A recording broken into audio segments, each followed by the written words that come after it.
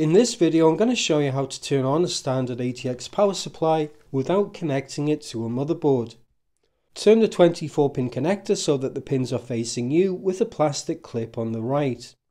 If we look at this diagram with the connector next to it, the pin we need is this one, fourth down on the right, that's coloured green on the diagram. This is the PS on pin. If we short this pin to either one of the ground pins coloured black on either side of it, the power supply will turn on. First, make sure the button on the power supply is turned off and the power cable isn't connected. Count down to the fourth pin on the right, then take a small piece of wire with a few millimeters of the coating stripped from each end. Insert one end of the wire into the hole of the PS on pin and then bend it over and insert the other end into the middle of the pin below it.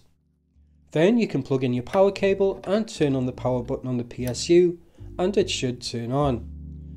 I hope this helps, that's it for now, thanks for watching.